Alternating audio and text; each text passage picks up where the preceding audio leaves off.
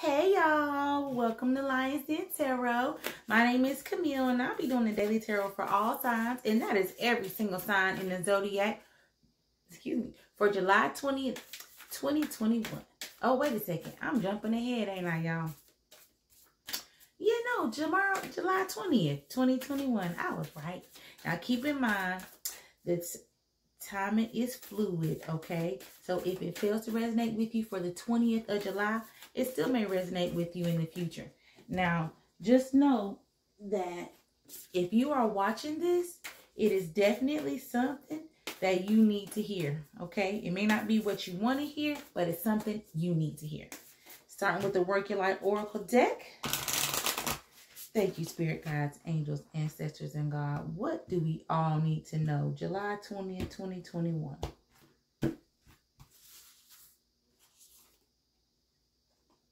Trust the niggle. What is the niggling feeling trying to tell you? Listen to your stomach. It's telling you something. All right. Thank you, angels, ancestors, spirit guides, and God. What else do we need to know? It's time to trust the niggle. Trust our instinct, our solar plexus, our gut. It's time to trust our sacral chakra, all that good stuff. Thank you, spirit guides. What else do we need to know? Thank you, angels, ancestors, and God. Thank you for the insight. Thank you, thank you, thank you. What else do we need to know? All right, Angel Oracle deck. Listen to your intuition. Listen, we got the same thing back to back. Trust in the niggle and listen to your intuition. It's the same thing, y'all. Listen to your intuition. It's talking to you.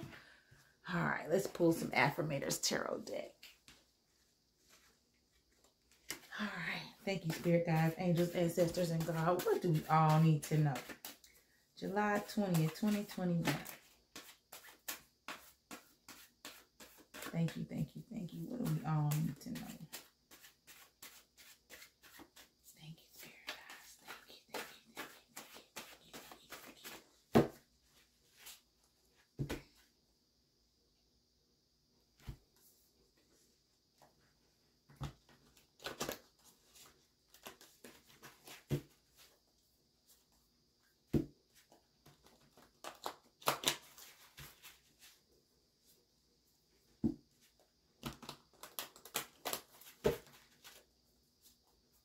All right, current situation for us all, July 20th. The Hermit, time to go within. What's driving us all? The Emperor. What we're all benefiting from. The Star. Look at that. Three major arcana back to back to back. And what's crowning us? Page of Wands. Time to start something fresh. And the outcome energies. King of Cups. All about love. Yes. All right. Now we are going to pull the Celestial Tarot deck. Thank you, Spirit Guides, Angels, Ancestors, and God. Give us some bonus messages of what we need to know. Thank you, thank you, thank you, thank you, thank you.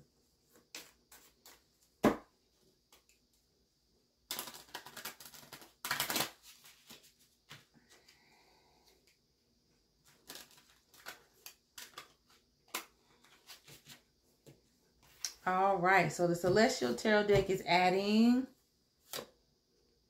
Judgment, another major arcana. We have got four out of six tarot cards. All right, Ethereal Visions. What else are you wanting to add for us? Thank you, Spirit Guides, Angels, Ancestors, and God. What else do we need to know?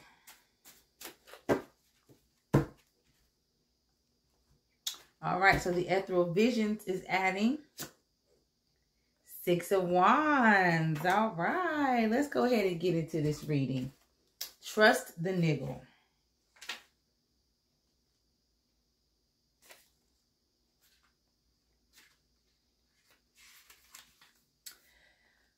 That niggling feeling, that annoying, niggling feeling, that inconvenient, annoying, niggling feeling, try as you might, it's there. And it ain't going anywhere. Most people spend years ignoring their niggling feeling, throwing their best dollops of stubbornness, ego, and post rationalization to numb them out. It's exhausting. And until you face the niggle, life just throw life just throws you more bait to awaken it, to draw your attention to the light within you that is bursting to come out. The niggle is an arrow pointing to what is standing in your way. The relationship, the conversation, the decision, the shift that needs to be made, the stone in your shoe. Often we feel the niggling feeling in our body first. Many people think that intuition is something from their higher realms, but in fact, it is the body that is the intuitive one.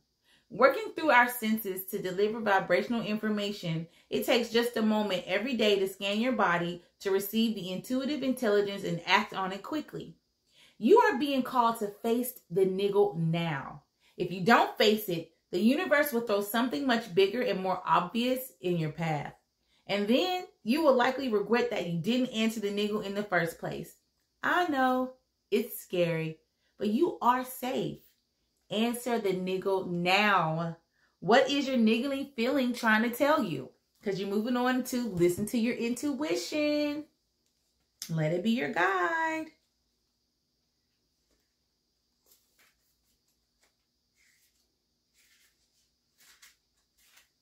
Your intuition is completely reliable and accurate at this time.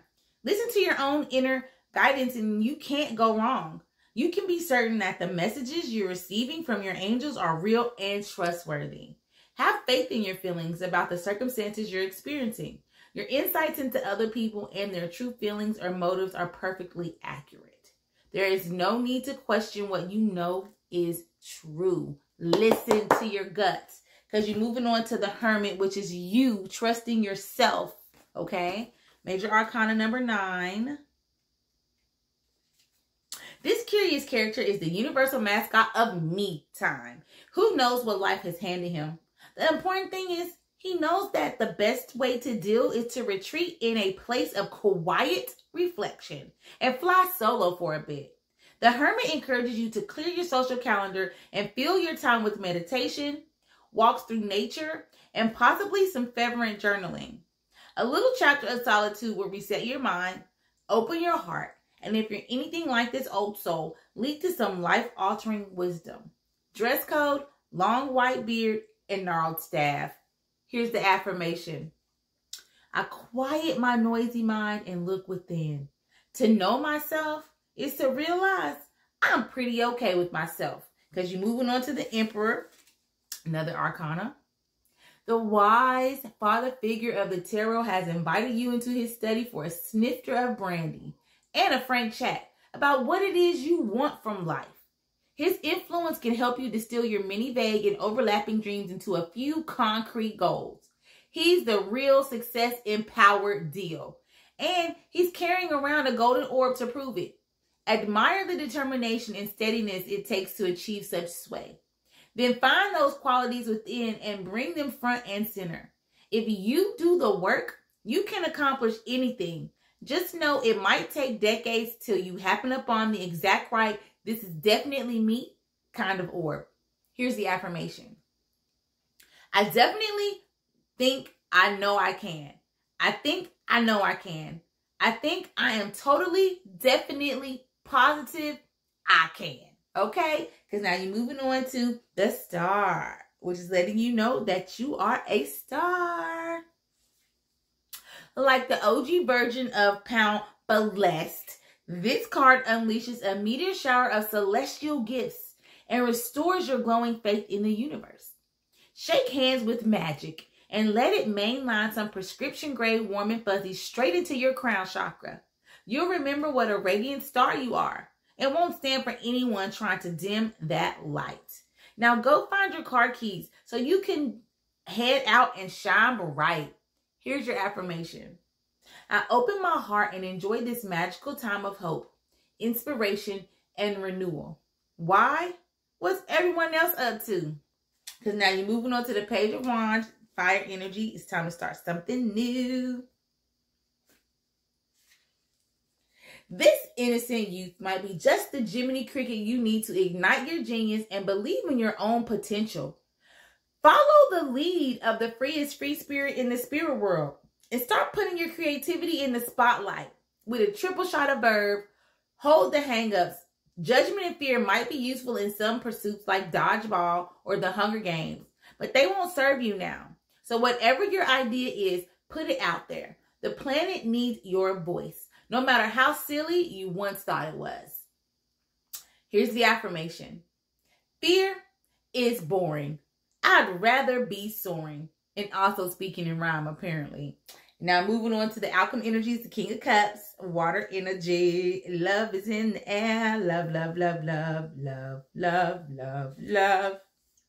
The King of Cups is basically a black belt of emotional mastery and he'd be more than happy to take you under his instructive wing. Hire him as your personal Zen master and let him show you how to feel your feelings with maturity, stability, and care for others. Honestly, it might get annoying to be around someone this perfect, but see if you can take a page from his book and run with it. This sort of balance will come in handy the next time you need to go to the DMV. Here's the affirmation. I watch life's events flow past me. And I maintain the mental equanimity of a calm, enlightened Zen master who's clearly never had his car towed in the dead of winter. And now we've got our bonus card, which is Judgment. It's the Celestial Tarot. Let's see what it says. Never gotten that one. Pluto, the inner judge. Lord of the underworld and judge of the dead, Pluto rarely surfaced. However, when he did, his helmet rendered him invisible, making it difficult to sense his presence. More often, Pluto draws us into his world to confront the truth. Pluto faces us through the shadows of the underworld. His gaze is fixed and penetrating, demanding engagement and honesty. Custodian of what has been buried alive, Pluto contains the complexes and patterns not adequately entered or physiologically complete completed. When the card appears, it suggests that the past can be exercised through accepting responsibility for what has occurred. In this card, Pluto holds the riches of the underworld. Ultimately, this is the wealth of self-knowledge and self-empowerment, constellated by the confrontation with the unconscious. See, intuition, listening to self. And then we got the Six of Wands in the ethereal vision.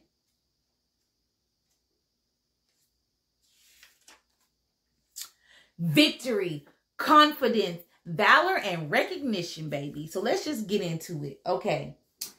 You have got to trust yourself.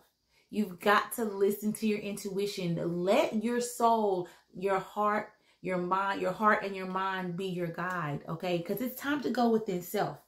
Once you come within self, you can sit down and truly figure out what it is that you want for yourself because you are a star and the world needs to hear your voice. So stop thinking that the idea that you have is silly, okay? It is far from silly. It is time to continue to keep your emotional state in check. Go with it because that's what the judgment is telling you. Look within.